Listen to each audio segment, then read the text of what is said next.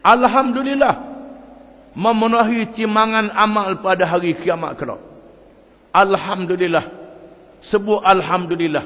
Segala puji bagi Allah. Kalau orang tu semayang dengan sendiri dia baca Fatihah, ada Alhamdulillah. Ataupun dia syukur di atas sesuatu nikmat, dia sebut Alhamdulillah. Perkataan Alhamdulillah ini memenuhi timangan amal pada hari kiamat kelak. Disebut dalam satu hadis. Seorang hamba menyebut alhamdu. Ya rabbi lakal hamdu. Wahai tuhan lakal hamdu. Bagimu kepujian. Kama yang bagi li jalali wajhika wa azim sultani. Kepujian sebagaimana yang sahaya bagi kebesaran dan kekuasaanmu wahai tuhan. Lalu malaikat yang menulis amal tak tahu nak tulis pahala banyak mana. Lalu malaikat naik ke langit menghadap Allah Ta'ala. Dan bertanya pada Allah Ta'ala wahai Tuhan hamamu telah menyebut satu perkataan. Aku tak tahu nak tulis banyak mana pahala.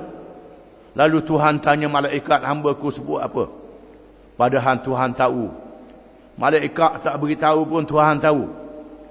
Tuhan tanya menandakan kasih kepada hambanya. Kasih kepada malaikatnya, hambanya yang sangat taat. Hamba ku kata apa? Malaikat kata, hamba mu kata Alhamdulillah. Segala puji bagimu, wahai Tuhan. Lalu Tuhan kata, tulis apa yang disebut oleh hamba ku. Akulah yang akan beri pahala kepadanya pada hari kiamat kelak. Menunjukkan perkataan Alhamdulillah.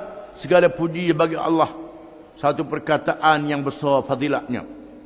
Wa subhanallah walhamdulillah. Subhanallah ma suci Allah dan alhamdulillah memenuhi di antara langit dan bumi. Antara segala langit dan bumi, kelebihannya memenuhi segala langit dan bumi. Di sinilah kelebihan kita menjadi orang Islam, menjadi orang yang beriman amal soleh yang kita buat diberi pahala yang berlipat kali ganda. Kalau orang tu tak beriman sebut alhamdulillah pada dia apa main-main saja. Main-main saja. Kalau orang tu beriman dia percaya sebut subhanallah alhamdulillah pun diberi pahala yang sangat besar.